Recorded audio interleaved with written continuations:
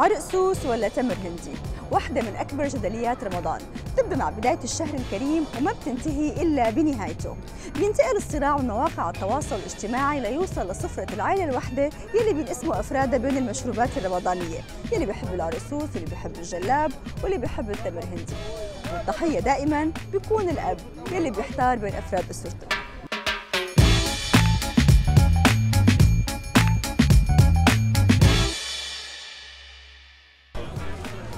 لك يا صعيد كله لك يا صعيد كله لك نبى صيد يا حباب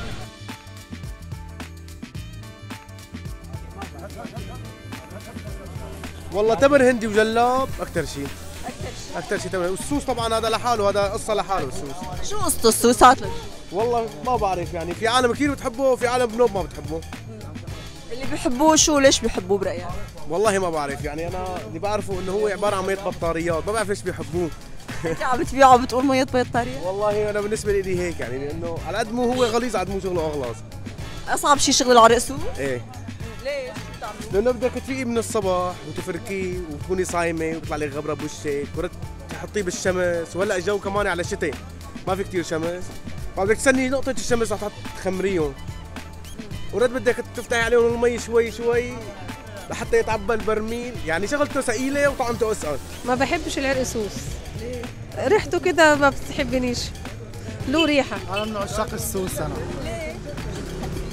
هيك طيب طيب إنه بعد أذان المغرب أول ما يأذن المغرب يعني بس بعد ما تأكل التمر إنه طيبه السوس بتروي القلب يعني. إيه بعد العرق سوس شو بتشرب؟ غير العرق بس بعدين ببلش أكل.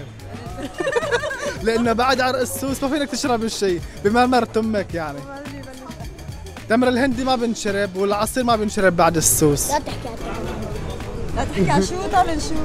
لا تحكي على التمر الهندي أقسم بالله جلاب أحسن من السوس ما بيتاكل السوس حتى مثل طعمة الجافيل ما بتحبوه؟ لا على الكب ليه؟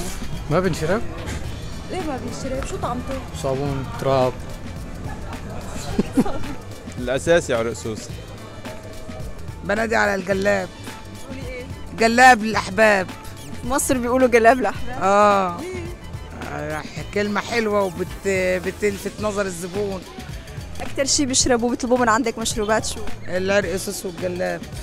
في مصر في نفس المشروبات مثل سوريا؟ والخروب والدوم والحاجات دي كلها. بس برمضان؟ برمضان آه. آه جميل. العرق سوس كله شف ليه كله شفا؟ والله ده عن عالم فرنسي. قال لك مصر فيها عرق سوس وفيها كمية الأمراض دي إزاي؟ التوت والتمر الهندي. والعرق سوس طبعا له شريبته الخاصة بس أكثر شيء هذول الصغار الكبار يشربونه. شكلك ما بتحب العرق سوس لا والله. ما أحب التمر الهندي أكثر. طب ليش بس برمضان هي المشروبات بنشوفها؟ هي مرطبات لنا. الواحد طول النهار صايم قلبه نشفان بيشرب له كاسة شراب بيروى شوي. بس هذا الشراب هذا أفظع شراب بالتاريخ هذا. هذا شو هذا؟ هذا سوس. هذا؟ لأنه بلا سكر. آه. ليش؟ إيه. هذا سبحان الذي خلقه. اي هذا هذا يعني اللي معه ضغط. إذا ضغطه صفر بصير 15 باختصار العرق سوس في ناس بتغنى بحلاوته وفي ناس ما بترغبه نهائيا. لكن للأمانة العرق سوس في له تاريخ طويل وقديم. يعني بيرجع ل 2300 سنة قبل الميلاد. وبالصين تحديدا وقت اللي قرر فيه الإمبراطور الصيني إنتاج شراب من النبتة بسبب مفعولها السحري بتقوية المسنين أما الرواية الثانية فبتقول إنه المصريين القدماء والبابليين هن أول مين اكتشفوا النبتة وعملوا منها شراب قبل الميلاد ب 1400 سنة. وكانوا الأطباء الفراعنة بيخلطوها مع الدواء المر لتحسين طعمه بسبب الحلاوة الشديدة يلي بيتميز فيها العرق سوس هلا النعمة بتساوي كل السنة معروف بتساوي كل السنة بس على الطلب مثل البريوش المجدول مجدولة مثال عندك التمر على طول البريوش الحليب ال Galaxy موجود على طول. في اللوتس كمان موجود على طول. صار في لوتس هلا؟ لك. والله كثير متطورين. رمضان بيمتاز مو بس بمشروبات معينة كمان في أكلات ما بنشوفها إلا بالشهر الكريم مثل المعروك والناعم. هي الأكلات والمشروبات صارت طقس من طقوس السوريين اللي بياخذوها معهم وين ما حلوا وارتحلوا.